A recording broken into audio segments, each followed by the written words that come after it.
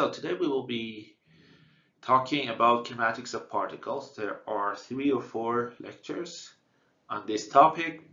So let's first go over the basics. We are dealing with particles and motion of particles can be described in, using vectors.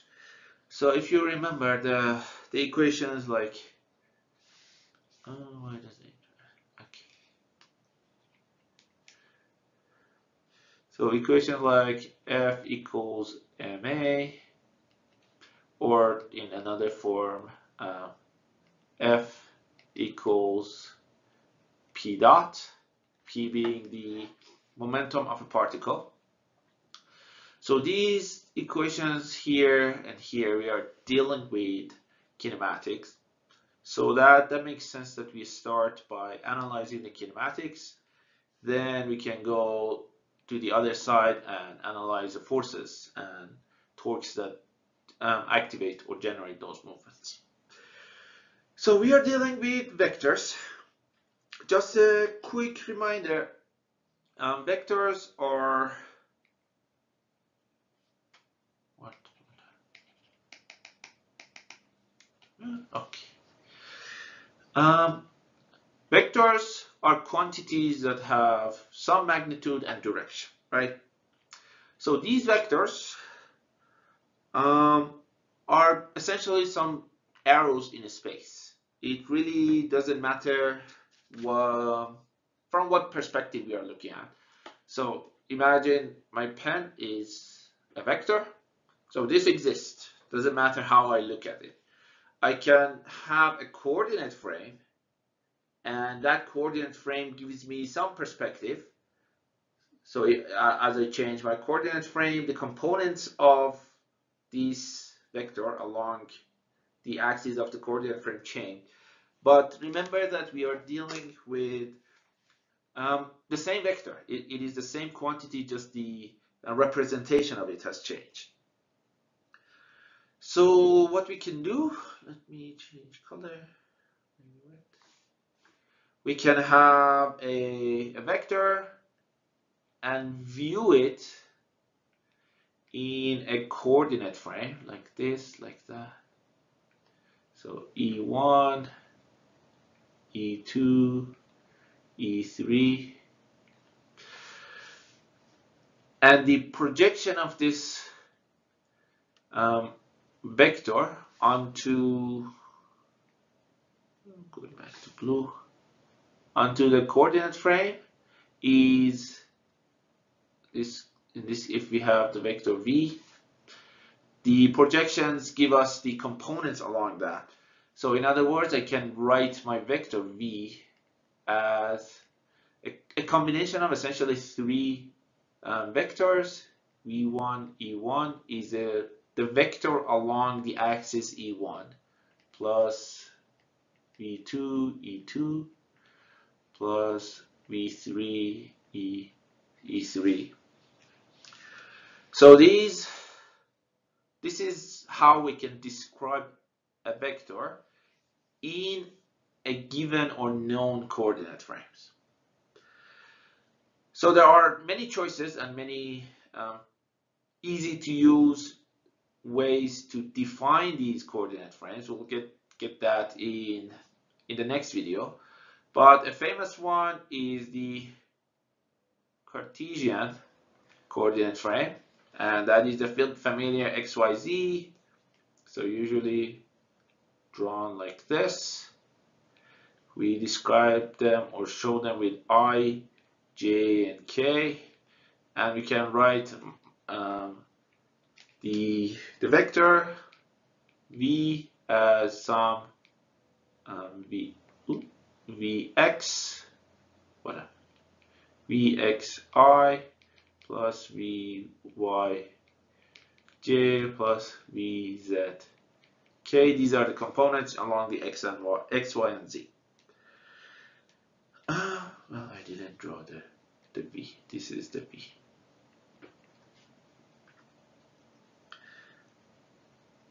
So one thing we, we need to do is very often here you see uh, we're dealing with accelerations or velocities, uh, time derivative of those. So it makes sense that we need to be able to take derivative of um, a vector to get velocities and acceleration, for instance.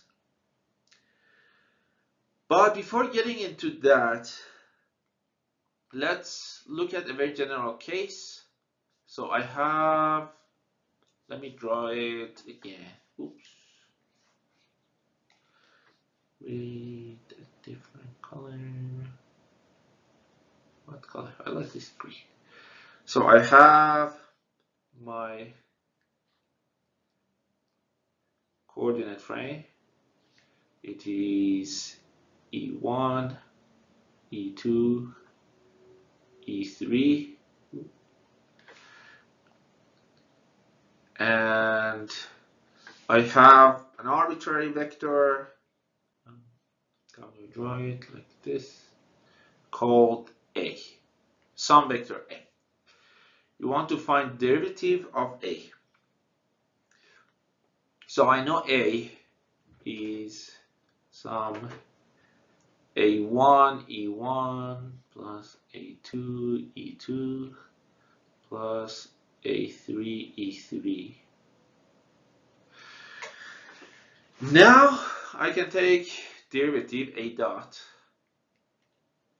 is um, for each of these there are two uh, pieces multiplied together so it's the derivative of product so I have A dot 1 E1 plus A1 E dot 1 plus the same A2 dot E2 plus A2 E dot 2 A3 dot E3 plus A3 E dot 3.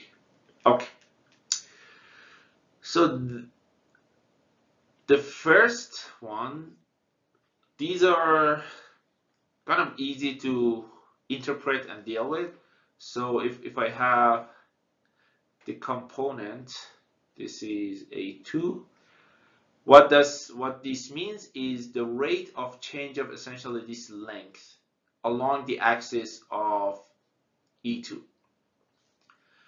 Now we can look at two cases where the frame is fixed, fixed. So in this case, the, the coordinates E1, E2, and E3, they don't change. So E dot is zero. There's no change in time. Uh, they don't change with time. So what I'm left with is A dot is A dot, oh,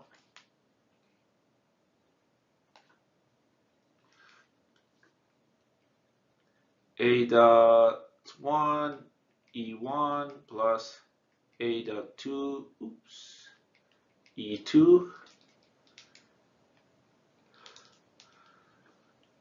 plus A dot 3 E3. So if this is my coordinate frame, it is fixed in a space and my, my vector is just changing with time. I can look at how fast the component of them along the axis change and that would give me the derivatives. The other case that is a little more interesting and we deal with it a lot is frame rotates so in this case let me try a different color orange so I have the frame and the frame is rotating about some axis omega so remember we can define this rotation by a vector along the axis the norm of that vector is omega and the direction is defined by right hand rule.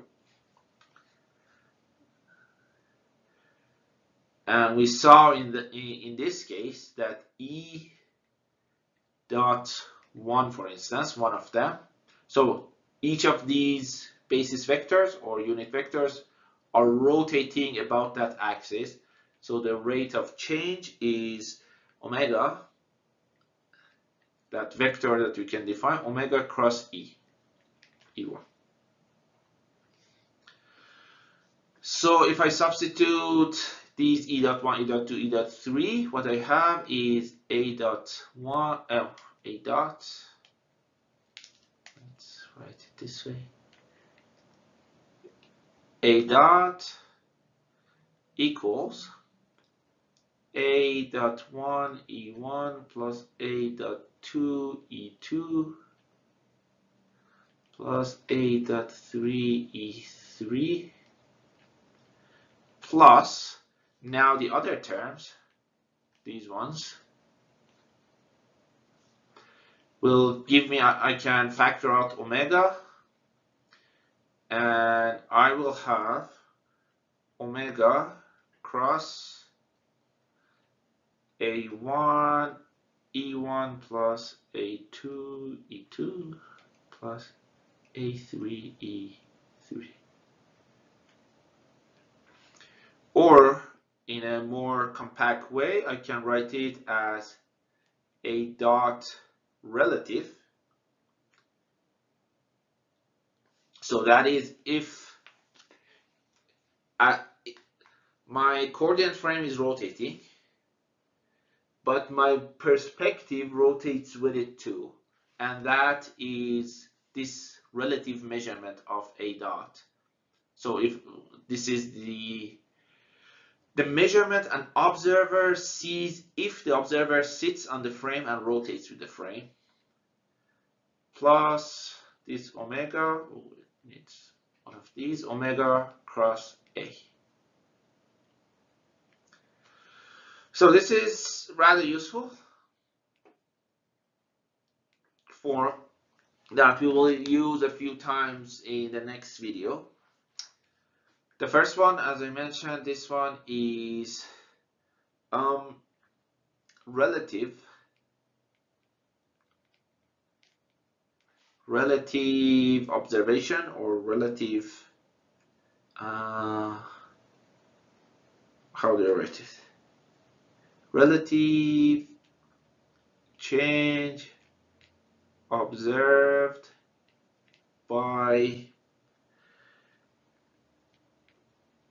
observer sitting on the frame. And this term is considers the effect effect of rotation of the frame. And this one is um, actual or total change of A, vector A. So keep this in mind. Uh, in the next video, we will use this to work with a, a bunch of different, um, more or less famous coordinate frames and see how we can derive the position, velocity, and accelerations equations for those in different frames. Okay. See you later.